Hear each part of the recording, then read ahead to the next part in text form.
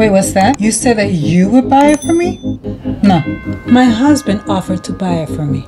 No. Mom is going to buy it for me. No, thank you. My neighbor? No, but thank you. My doctor? No. Oh my god, I'm rich. Um, still no. Just plain no. Designer buys that I would never buy, even if you force me to. Hola y bienvenido a Styling Your Lipstick.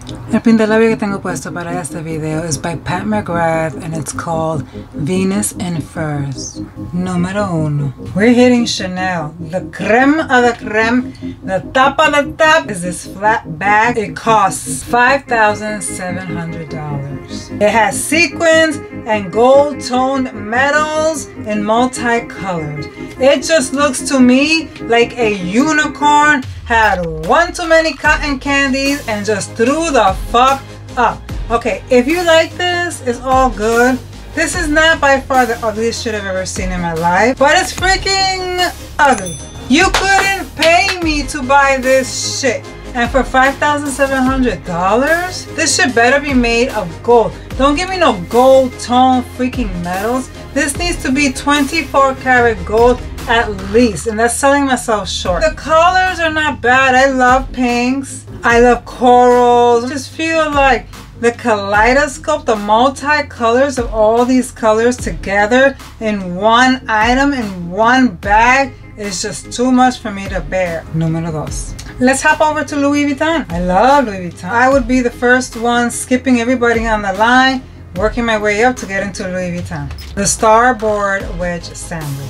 You think I'm gonna go to freaking Louis Vuitton to buy this fucking sandal? This type of sandal? This sandal is so generic. You can see this shit anywhere, any price point. I mean, damn, even McDonald's that doesn't even sell shoes would have shoes like this. And for $830 for this type of shoe, I would never go to Louis Vuitton to buy the most boringest freaking sandal ever. And the only thing that makes this different is that it has Louis Vuitton posted all over it. Wow. Número 3. Bottega Veneta. Now, it pains me to say this because Bottega Veneta to me never does any, anything wrong. That freaking brand is on fire. If I can go in there and drop 5 G's in one fucking day, I will record it, don't worry. But I will be in heaven. Everything they have is fire. Except for this fucking beast. What the hell is this?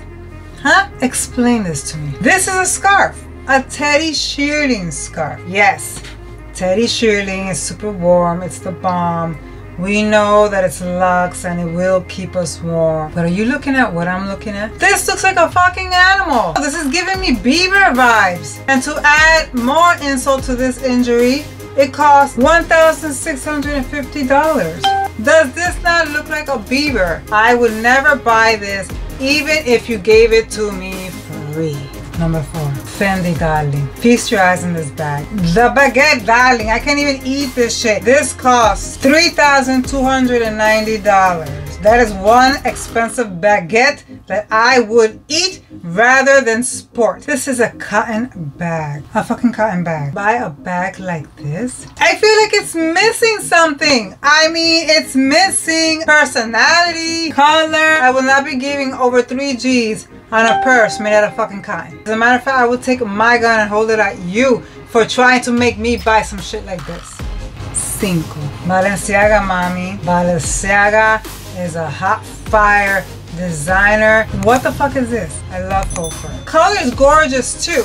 It's the mix. You don't want faux fur with a lime green acid color like this because who the fuck is gonna clean that shit for you? More importantly, where are you going to dock your purse when you're out and about? Because I, for one, if I'm rolling around with a purse like this, I will be so afraid of putting it down or even holding the shit. This shit's $2,150. Don't even fucking look at it because you might actually dirty the bag. Says, this purse hasn't even dropped yet. This is by Rosetta Getty. A net. A fucking net. A designer net. This has got to be the ugliest shit ever and the cheapest thing ever. And you know it's going to be a ridiculous amount of money. I just want to know who in their right mind would actually buy something like this. Go to a basketball game. Figure out how to get some of those nets. Or my mom sews, so she would put one together for me. But what the fuck? You call this a purse? I would never buy this. Even if you locked me up and forced me to buy this shit. And lastly, Let's go to Attico. I love Attico. Attico's edgy, young, contemporary, so many beautiful things. Until I saw this monstrosity. This is $490. It's a steal compared to everything else I've mentioned in this list. But tie-dye. Did we go back and take a stroll down memory lane? Who needs tie-dye? I was never a fan of tie-dye. Attico trying to make it look a little bit more modern? No, I still see the tie-dye here. And I don't like the mix of colors. I don't like it. And for $490, too much money to invest on a trip down memory lane. Do you agree? Which ones are epic fails in this category? Let me know in your comments down below.